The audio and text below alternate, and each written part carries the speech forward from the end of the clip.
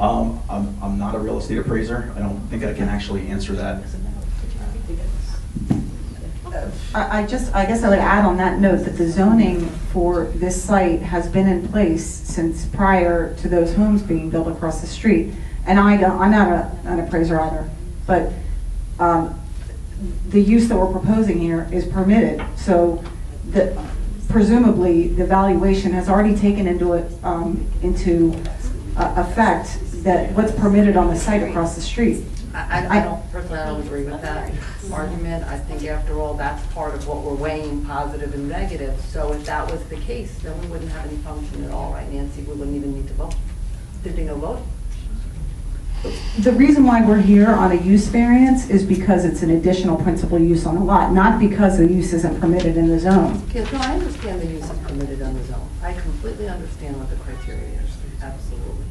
So, and again, I'm not an appraiser, but um, I think what Peter's testimony is, is that from, from a planning perspective, there's no substantial negative impact, no aesthetic impact, we talked about that, there's mitigation for that.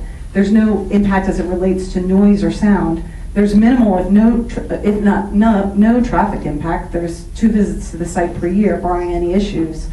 Um, Those are the typical I- I considerations. no objection on the traffic at all. Um, Other characterizations or conclusions that he drew, I'm not sure that I personally agree with. Um, You know, including that the proposed use is compatible with the neighborhood. It's compatible with the larger neighborhood, but not necessarily with the immediate neighborhood. I guess I would just add, though, that determination has already been made by the governing body as to what is compatible with the R4 zoning, and that determination was made before, prior to the application before this board. For a single use, though. So we get to, we consider positive versus negative with the application. I absolutely agree, I'm just So- pointing out that distinction here, that, you know, the zoning was in place prior to this application, so we're not, it, it's not as if we're coming in for a use variance for a use that's entirely prohibited, in which case, I, I, I, not that I entirely disagree with you, but I think the analysis is quite different.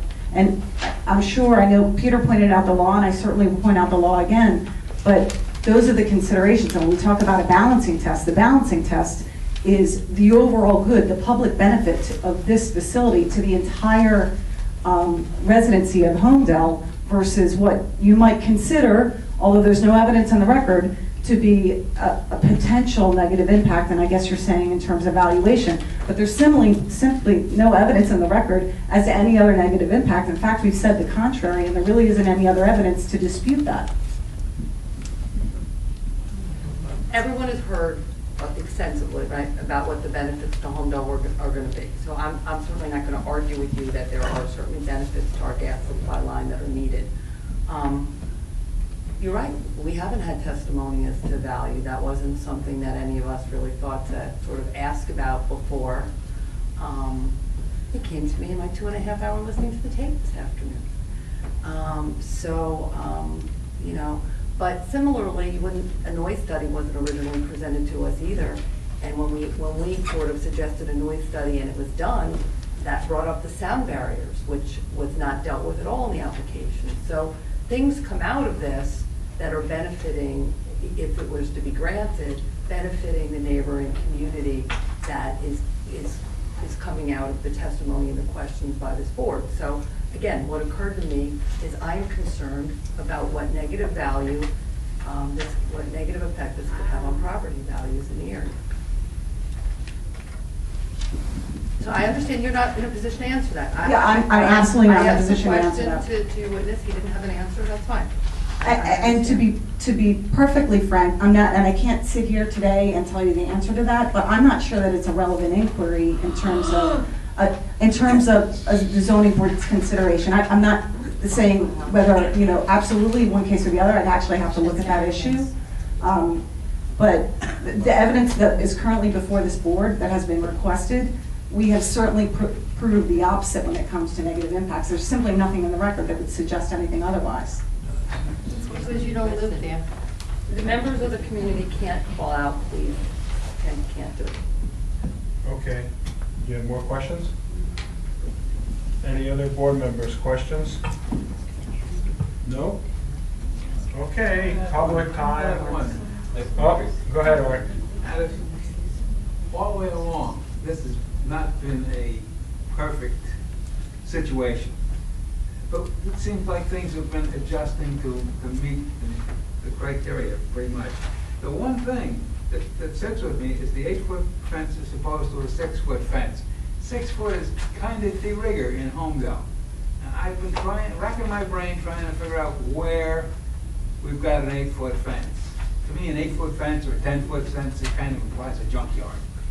Uh, and I, I hate to break parameters. You know, if it's already been broken, then go on to the next one.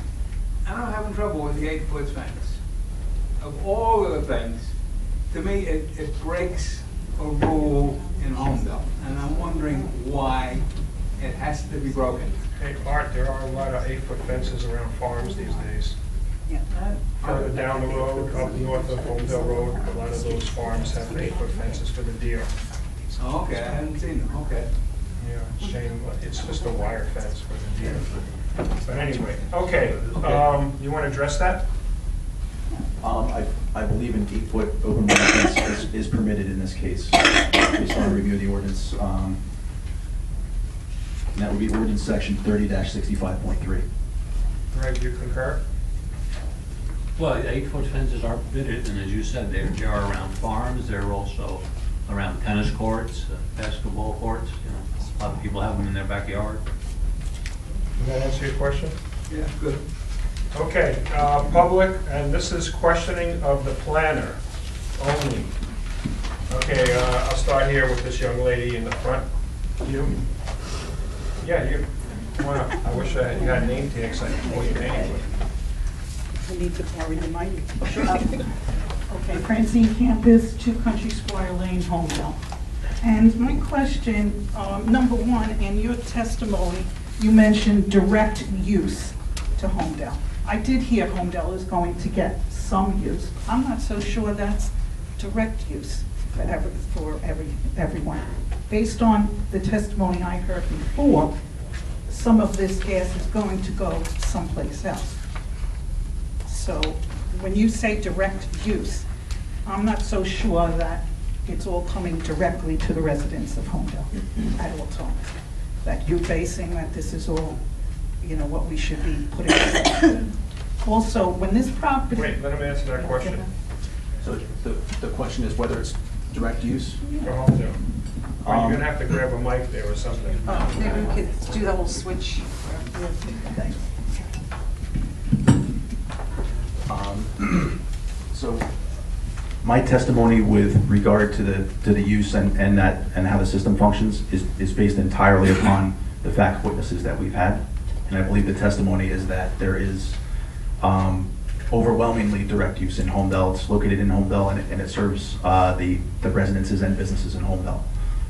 Some of them, but, um, Uh, Just to clarify, again, this is part of the record, I think um, Craig has stated it, and Mr. Panichon has stated, it. you might not have been here for all those hearings, but the testimony on the record, I I apologize if you have been, um, is that this primarily serves Holmdel. And I, and I think um, Peter just made that even more clear, that with with regard to the number of active meters and based upon the census data, how many residents of Holmdel actually benefit, which is- I I believe the testimony was 98%, or even conservatively, um, 83% at worst. Right, and we're doing that now without this regulator station, because I get gas very easily without that regulator station in. So whatever's in right now is working.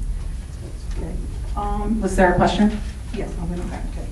Now, um, I know you, in your testimony, you said that this site is, can have this permissible use. But did you take into consideration that when that land was sold to the solar company, that variances were given to it to put that solar farm there? Okay, there, I don't recall, I can't go back and look at all this, I'm not an attorney, but tons of variances were given just to allow those solar panels there. They used up what the variances were, and part of allowing them to have the solar panels there was for them to erect a berm and do all kinds of things. Um, Our fire inspector, David Olson, had expressed concern about emergency vehicle access to the site and access to fire engines should a fire occur on the solar panel site. And I think then what was proposed was that 12-foot gravel road. But what I'm saying now is, that berm was put in to satisfy giving them a variance to put the solar farm. That 12-inch gravel road was put in there. Now, we're gonna put more stuff on that area to complicate what I would think. There's a question coming here? Yes. Did you evaluate that, that concern? Did you look back at the concerns that were raised back when the solar farm was put in there? That by putting another monstrosity on that property, that we are still going to have a safe use of that land? Because you're actually asking for variance to put another additional use on it. You're just not asking for, you're asking for an additional use there.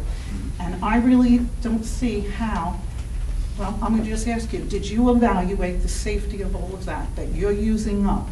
More space there, I mean, a fire engine coming in there? Okay, let's get, let's get a question here, so. okay, go. Is your, is your question about the fire safety? No, Because, Okay, so- Because I think, That David's because, here. he can and he answer was that. very, he was very good when the solar farm was proposed. All I mean, I right, but go wait, to let's, look. let's, Now, there's a lot of people that want to ask questions, and they're gonna get upset if I have to let them wait Okay. till next But time. I think we should have looked at that, and that's my question Okay, so to your him. question is, did they look at what? I, but Francie, I think. Past we- variance? We did, well, we did look at the safety issue, and I think that Mr. Olson can answer that question. Go ahead, Dave. We, we did it on a site visit. In reference to the solar farm, they did meet all the safety requirements I have brought to their attention, they addressed those. Uh, The same requirements would apply to the gas regulating station, even though if there is a major incident at that gas facility, the fire department is not equipped to handle a major incident. We'd have to wait for the gas company to respond in a major incident. You're now complicating it because we're that's why I'm asking, you have you looked at that, that there's enough space there? Whoever's gonna respond to the emergency, that they've got enough space without damaging some of those solar panels, which, uh, Mr. Nicholas, I'm sorry if I'm quoting other people, because I'm not sure if I'm allowed to do, but I did research. And he was concerned when the solar panels went in, he said many of the materials in solar panels are highly toxic and extremely dangerous if they catch on fire or break apart so that their components leach into the ground. So my concern is, is there enough room on that site now? Did you look into that? That we would not damage solar panels? You're asking to put something on a site that Okay, already wait, let him answer the question. Yeah, I, yeah, I, but if we could, I, I'm I, sorry. I see where you're going, if you just let us I know, I know. answer the Just that questions. Something Um, I'm really concerned about. I- I- And I understand that. Um, I I believe that that question was asked, and um, Mr., both Mr. Olson responded to it, but also our site engineer did respond to that with regard to access and turnaround. That was at the February hearing. I'm not sure that you were here for that, but we did provide a response. I know, it's eight months ago. Right, right. Um, But we did provide a response to that, that yes, there's sufficient width for us to make uh, the K-turn to get in and out with a fire truck, and that Dave Olson was also very comfortable with that as With a well. wall and a fence and a mitigating. Yes. Well, well, the access drive isn't, you I think you might be confused, because the access drive to the regulator station isn't, yeah, it's on the side. It's not, you know, through the berm or the fencing or the landscaping. It's actually on the side of the facility. Okay, let me just see. if there's, Planner questions. Yeah, I know, I'm sure, well, he wanted to see this, I mean, he Planner went, questions. I know, but he went over a lot of stuff. 9:51, and people still raising their hands. I know, but we listened for a half an hour to. Go ahead, I think ask- with ask- some ask him a redundant question. stuff. Um, I'm sorry if, um, but multiple years, I just wanted to make sure I. Into night. Yeah, and I guess my question to the planner is, you talked about all of these variances and, stuff, but how many variants, if, if I'm not mistaken, there was just a variance asked by the solar thing to put something else on that property, a battery shed or something? Battery storage wall. Battery storage walls. Did you look at that, that another variance was, was put, how many variances are we gonna allow on one piece of property? Is that something that we look at? Um, Well, my understanding is that matter is still pending, that there has no, there's been no variance granted, and that determination is really up to the board, not up to us. That application, from what I understand, has not yet been heard by this board. Um, So I think that question is really directed towards the board, that will, you'll find out the answer to that when that application comes and makes its presentation. Okay, one last question. You kept mentioning the governing body. Which governing body? The current governing, governing body or a previous governing body? Um, I believe it was a a previous governing body. Okay, I don't have the, um, the precise date, but yes. Okay, thank you. Thank you. Uh, Are you going to be brief? Very brief. All right, come on. That's the first thing. Uh, Jay Yanello, 18 Ladue Drive. Ed, you said that you- you're, Peter, right? Peter. Peter, Peter. sorry. I- I'm confused. Ed, you're the sound, sorry. Peter, there's so many names here. Peter, you said you anticipate two visits a year to this. So from what I understand, there's going to be no camera monitoring of the facility. Um, I just find two visits to be unbelievable, particularly after we, uh, I don't forget what exhibit it was that we showed the bad condition that the Lincroft facility was in, apparently after a storm. But are- you saying these regulator stations are visited twice a year? Such high pressure? Can he not answer that? I don't think so. That testimony is already part of the record. Mr. Panachone could certainly do that, but I think Okay, that's this, fine. if you want to. Yeah, well, well, I'll pass on that one then. Um, The, you commented extensively about the landscaping, the most extensive landscaping package, and I think that begs questions, but we can get to later in the commentary period. But um, I presented an exhibit which showed that in the winter, the one side facing uh, east uh, is extremely bare, and I don't think that's ever been addressed. Um, Did you know that? Did you notice, did you remember that exhibit? I took pictures, we blew them up, and you will see the facility quite clearly. Um, I- I- That sounded like, because I know you had questions for our landscape architect, Rick Weiner, who did indeed provide testimony on that issue. I'm not going to I don't think characterize he that. ever addressed that I think he did. I- He did? Yeah, he did. What did he say? I I don't want to. I don't- I don't remember- I've don't want to one turn it, I don't want to turn into a Okay, witness, we'll but I I revisit know he that. addressed that, that don't- situation. I know you had mentioned that you I took felt like. pictures, I don't remember that, but we'll get to that. Yeah. I just, We're we're going off. Planner, planner questions. well, it was tied to his landscaping comments. I don't remember that being addressed, but I guess we'll see. Okay? Okay. This I'll young lady up front, come on.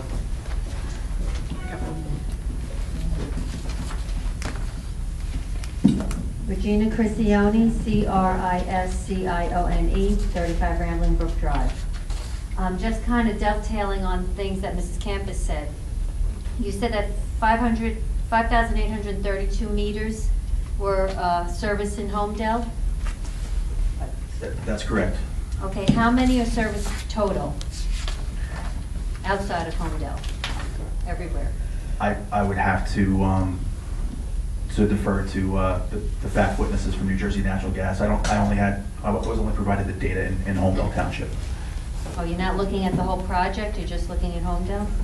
I I think the, the testimony was that this station primarily serves Holmdel, but so in I'd like order to get that in numbers, though. Yeah, I, I I know, Uh, that question has, I don't know if you've been here for all the hearings, but that question has been asked repeatedly about a percentage, and that's just simply not a question we can answer because this is an interconnected system. So um, Mark Panachone, which you're more than welcome to ask him, uh, you know, some other questions related to that, but he did testify that this will primarily benefit Holmdel, this station. That is the But how do we testimony. know that if nobody has the numbers? I don't understand.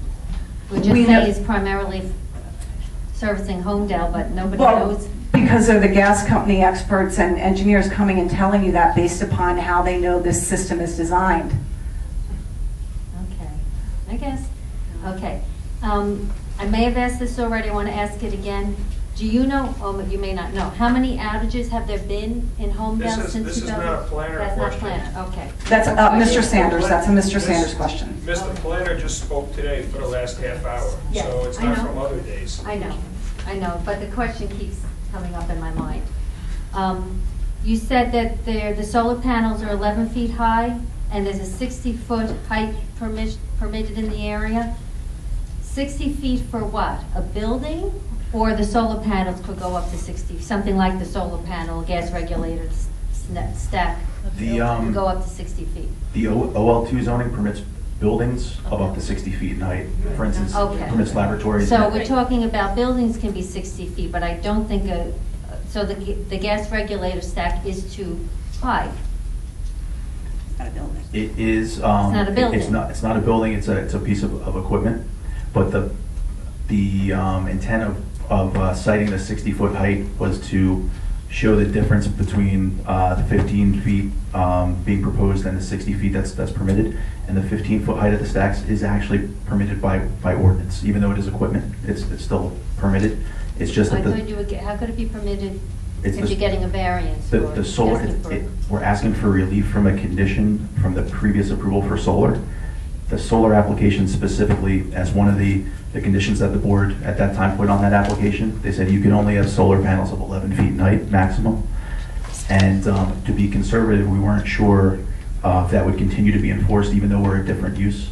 So we're asking to be conservative for relief from that, just to make sure 15 feet is okay, rather than 11 feet. Okay, so again, you're asking for a variance on a variance in a way. We're, we're asking for a um, relief from a specific condition on the approval for this property, and it's not a variance, it's, um, it's uh, tied to the previous approval. That kind of runs, that runs with the land essentially. Right, well, Okay. I was on the board at that time. We asked them to- what height they wanted, and they said 11. And then we told them at that time, I I don't know how many other board members, I think you were on, that cap it at 11. So when we did that, we capped the entire property at 11. Okay, So now that was our condition we gave them. Okay, So he's asking that, that prior 11 feet, that we now allow them to go to 15 feet. That's what he's asking for. okay. So this whole thing about the 60 feet is kind of like a red herring because we're talking about buildings versus smokestacks, correct? I don't see why the Well- 60 feet has anything to do with this. It, um, in terms of, of, uh, one of the, the factors that, that planners look at is the, the intensity of development. And in this case, it's, a- it's a, s- uh, low-rise development, only fifteen feet maximum height. Um, the massing, meaning the the horizontal, you know, uh, stature that, that the, the facility takes up.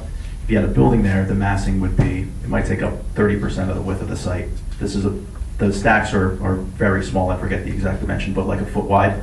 So the point was just to, to- to demonstrate and, and, and uh, just highlight that the, the zone is actually permits very intensive uses, like a conference center is a huge use, tremendous amount of traffic, large buildings up to sixty feet high, things like that. Just to draw the contrast between, we're proposing a, a very modest sized facility compared to what could theoretically be located there, um, or a similar site in that zone. Okay, except that I think most residents would rather look at a building than this, but, okay, thank you. Okay. Uh, Let's see, uh, this young lady here in the front. And what I, my earlier statement that I was going to stop at 10, I'm giving you guys a little leeway. We'll go another 15 minutes, to try to get all these questions answered, because obviously we're not going to finish tonight. Jenna Macy, 7 Country Square Lane. Um, uh, You spent a lot of time talking about inherently um, beneficial and useful, and, and then I believe um, you said something to the effect that um, you don't need, you don't need certain things. Can you just refresh my memory? You don't need a use variance, or you don't need, what else did you say? You spent a lot of time on that. Sure. Um, Don't- There, there's um, a different standard when, when a use is inherently beneficial in terms of the positive criteria. You don't have to um, provide the same level of proof that you would if the use wasn't considered inherently beneficial. Okay, then, this was not the first site considered. Um, If this is such an inherently beneficial use, why were all those other sites rejected? I'm gonna just have to limit the questioning to Peter's planning testimony. This was his testimony. He- You and he both talked about inherently beneficial to, uh, is an But your inherently question beneficial relates to site. why weren't other sites Right, you're considered? using this as an argument for this site. Why, why wasn't it used as an argument in all the other sites that got rejected? We didn't make an application on any other sites. There was two hours at the last meeting on this. He mentioned it not a formal application. Okay, audience, come on. Okay. I'm concerned that you're rejecting my question because that to me is a very important thing. Well, you can ask that question again at the end. Okay, I Which will will. probably be another meeting. And I think you mentioned, you went on a very long time and it was a lot of redundant stuff. So um, what I thought I heard was, uh, and he covered a lot of different things. So to me, everything is fair game that you said, even though people might be answering. But uh, one of the things, I thought you mentioned about uh, that it was, uh, it was safe as well. Somewhere in there you mentioned safety, that it was in there. At the end of May, there was a fire at Holmdel High School. One of the solar, the whole solar panel, a set of solar panels went up, um, ignited. And that's on a high school. I don't know if you guys had any time with safety to look into if something like that could happen. What would happen if there is a fire at the solar There has been um, quite a bit of testimony by Mr. Sanders on safety issues and and specifically dealing with um, what would happen in a hypothetical scenario that you're suggesting right now, and that is in the record. Including, including fire of the solar panels? Because I've been to all the meetings since March. This, this is Okay. not a planner question. But he talked about safety, so aren't we supposed to ask questions based on his I know, testimony? but you know what we're talking about here, so Okay, so let's I try to can raise this question again later? You can talk, the next meeting, you Thank can you. say any question you want to anybody. I will Okay. not limit you, I promise. All right, promise. those are my two. Thank you. Thank you. Next, somebody from this side, come up, sir.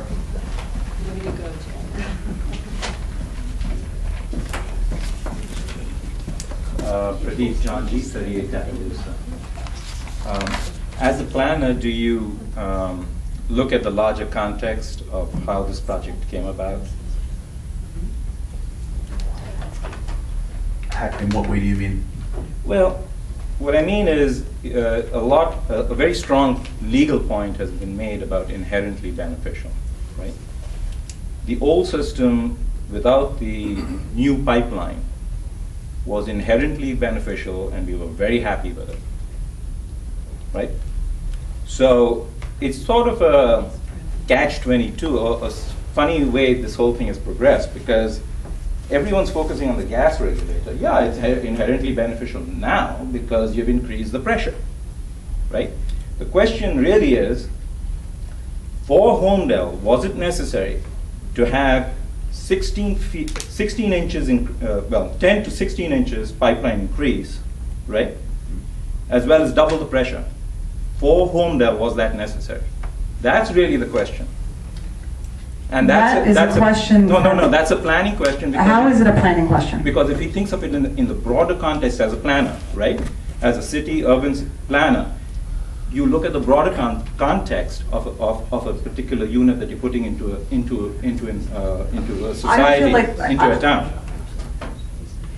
I I don't feel like there was really a question in there, other than, um, how is it that you needed to, let me finish, the 16-inch um, pipeline, how is it that you made a determination that that was required? That is a technical question that has already been answered by NJNG. Well- And you're, and you're absolutely more than welcome to ask something that's related to that, although that, that answer was already provided, but that really isn't a planning question. That's a why I asked- technical question.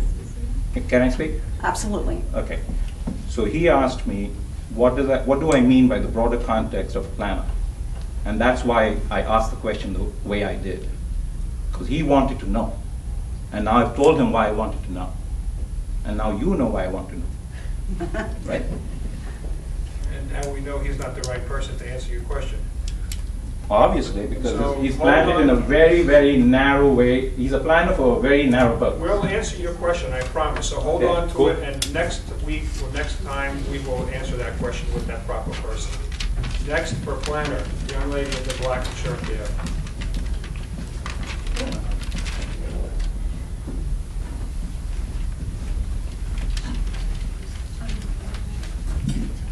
Falguni Patel, 2 Hopbrook Lane.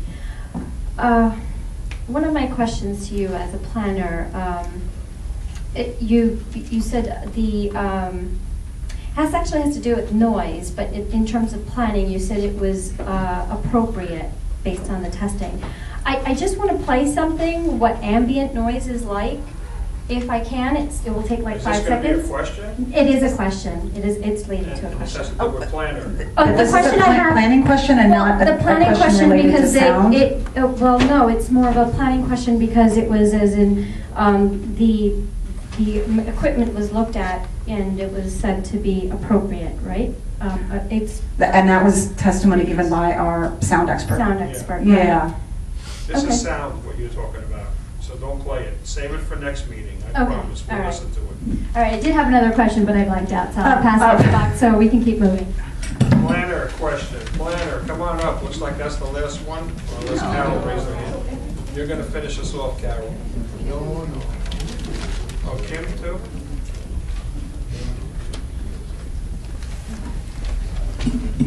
Hi, Karen Strickland, 26 Hayward Hills. Um, You asked, the que- you said um, that things are inherently beneficial, and you said all the things that you don't have to do uh, because it's been determined to be inherently beneficial. I'm wondering what proof does have to be presented to say that something is inherently beneficial? Um, we- actually, we, we said that it's inherently beneficial, but to be conservative, and part of the reason, and I apologize for my testimony being so, so lengthy and the redundancy, is that we actually went above and beyond. Even though the inherently beneficial standard doesn't require us to get into as much detail on site suitability and, and the positive criteria, we actually addressed all those things in addition to what we were required to do. No, but my question is the other way. You're saying this is established to be inherently beneficial, but, so because it's inherently beneficial, we do not have to do these things. On the other side, bef- before that, there's a question of what criteria has to be presented in order to determine that something is inherently beneficial. Um, Well, I, I read the municipal land use law definition. It's a combination of, of that definition and, and um, case law, and in previous cases, Yeah, you said it's a value, serves the good, promotes the welfare. So who determines it's a value, serves the good, and promotes the welfare? What, what are the facts that say, what's the criteria that says something promotes welfare and serves good? I'll respond to that because I think it's part of the record. Um, Peter did provide the definition in the municipal land use law of what inherently beneficial is. It is our position that we are inherently beneficial, and the facts are that um, we're providing heat and hot water to almost all the residents of Holmdel. By definition, and that's our position. That's our position, and that's up to all the residents already had heat and hot water, so what added benefit are we, is this doing? that- I'm not sure if you've been here for all the prior testimony, but the testimony, on okay, the testimony on the record is that um, this regulator station is, is direly needed, and the reason why it's needed is the existing situation, um, if left unattended to, will cause freezing to the existing regulators.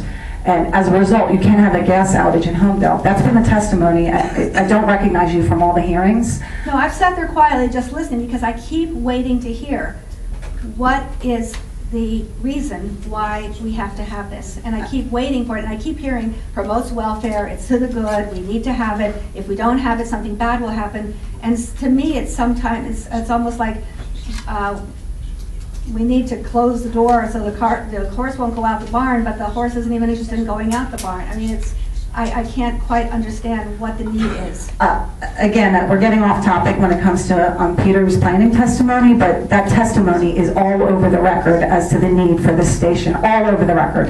Um, there- We've It's the same presented words pictures. Over and over. It's the same words. It's, it's needed, it's needed, we need it. Well, no, no, no, it's a lot more detailed than that. I mean, it, it's needed because freezing can occur to the regulators and will indeed occur to the regulators, and as a result, we can have a gas outage. That is all over the record. There's pictures in the record, there's testimony all over the record, so it isn't just conclusory, Th- those are the facts.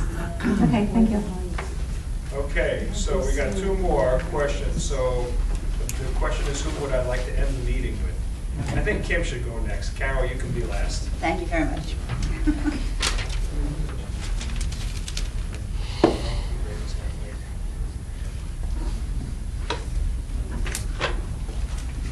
Um, I think this is a Wait, planner wait. question. Okay, Kim Lygan Casola, 939 Holmdel Road. I am right across the street, less than 300 feet, slightly more than 200 feet. Um, I wanted to know, why does New Jersey Natural Gas need to have consideration for it to be a principal use? Why couldn't you be content just to be an ancillary use or get an approval for just your little section? Why do you need the um, title or whatever it is, forgive me, I'm not good with this stuff, of principal use? Is that a planner question? I- I- I'm going to give you my legal response because I actually think that's more of a legal question. Um, I think what you're talking you about when you mentioned say... That's why when you're going Yep. through the, the, I- the I understand Sica your and the question. well-being and the safety and. Yep, I understand your question. I, I think what you were making the distinction as to why we were coming in on an application for a principal use And there's already versus... a principal use that was given on But variance versus you said- already, and now you want another Well, variance do you for want me to answer the principal use. question? I do. Um, Versus, versus an accessory use, you said incidental. And that actually goes directly to the heart of the principal versus an accessory use. We couldn't come in on an application for an accessory use because an accessory use has to be something that's incidental to the principal use. So our position is that we can't make the case that a gas facility is incidental to the solar farm use. As a result, we need to come in on an application for a principal use variance. And then I just had one other question. Um, you continually kept using the words safety, um, but the natural gas had put out this paper when they did the big pipeline down our street in front of our house with the replacement, eight miles of 10-inch steel transmission pipeline, da-da-da, with a 16-inch main to increase supplier diversity and improve reliability of the Monmouth County system. So I was under the impression at that time that we had that replaced for safety because of the old pipe, and that was giving us a better chance of reliability should there be failure. So why do suddenly we need this scare about safety if this was supposed to cover all our safety bases? I'm gonna, I know you're not gonna want to hear this, but that is definitely not a planning question. That's a question for Mr. Sanders at NJNG. Okay, thank you. Please hold it And, and thank you very much. I, I hold that for the next appreciate that. We want to hear all those questions. Thank you. Okay, uh, Carol. I think uh, Carol's last today. Okay, we can ask questions of this person at the next meeting too, right? Oh, yeah, you, the next meeting, it's free for all. Okay. We're gonna quote you, Sam. Put that on the record, I said. Okay, I only have four questions for tonight, and he doesn't have to answer tonight, but I'd like to answers for the next meeting, okay? Um, You spoke about all your waivers and variances requested. Didn't hear you. Uh, I'm sorry, Carol Bomber, 96 Middletown Road, Holmdel. Um, You did not address the fact that you've asked for a design waiver, exception, relief from requirement that an environmental resource survey and environmental impact report be provided. Why didn't you address that tonight? I- I'll just, I'll just clarify a little bit, I know, because I, I- believe you um, raised this issue at another hearing. Uh, Yeah, Let me just quick finish. answer, though, 'cause I went through the tapes, Uh, Let me, let let me quick Okay. finish on that. Um, It's not a variance, and it is, it's something, it's a waiver from a requirement that was a checklist waiver. Uh, We didn't ask for a full waiver, we asked, we asked for a partial waiver. We did supply an environmental impact report, a partial one, and we were granted that by the board.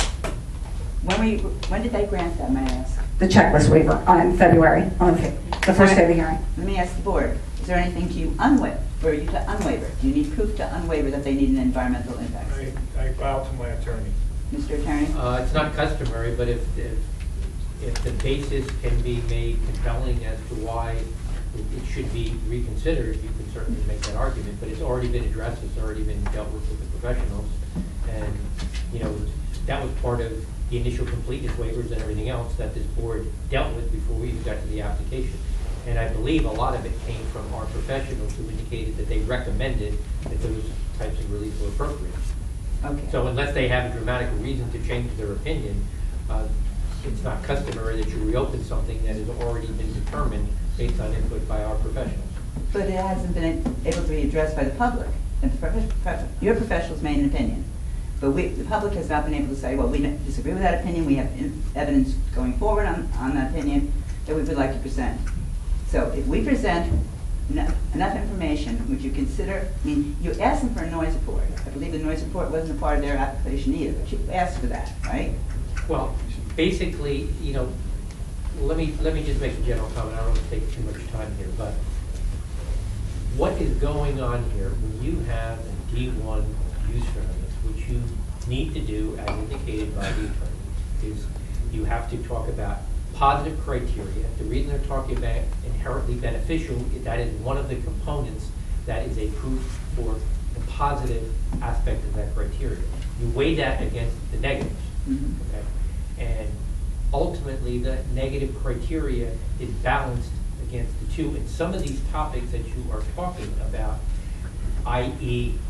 noise reduction or um, sound reduction, things of that nature, The case that's been referred to by the attorney, the Sica case, which is the controlling factor by our Supreme Court that you look at in this type of situation, says you not only look at positive, you balance it against the negative, and this board has the opportunity to come up with conditions to mitigate against the negative, should the negatives in fact be strong enough to create issues.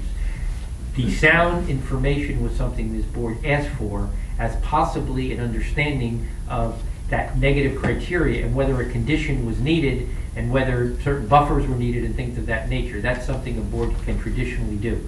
Normally, when you're talking about types of conditions like waivers, environmental impact, those tend to be preliminary questions before the application and the main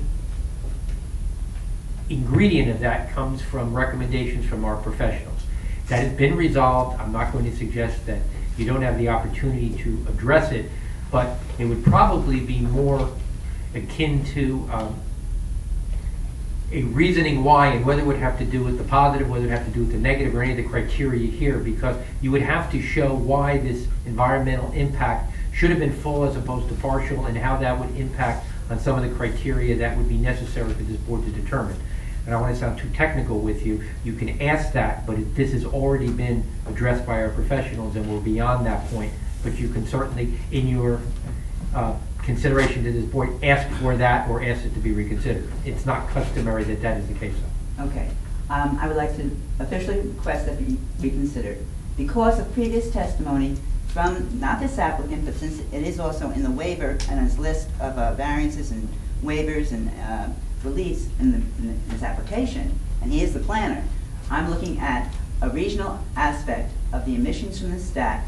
Have they been addressed in a regional impact to the area?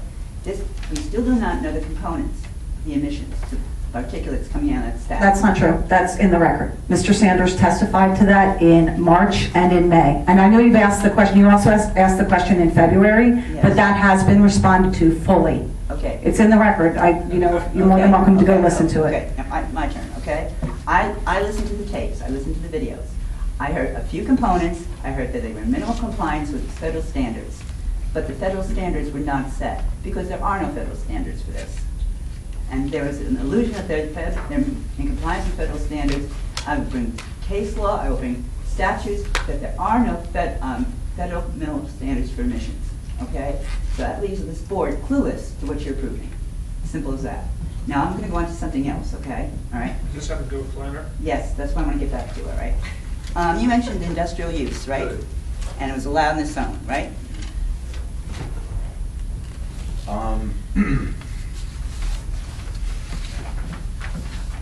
Well, it's an office laboratory zone, and um,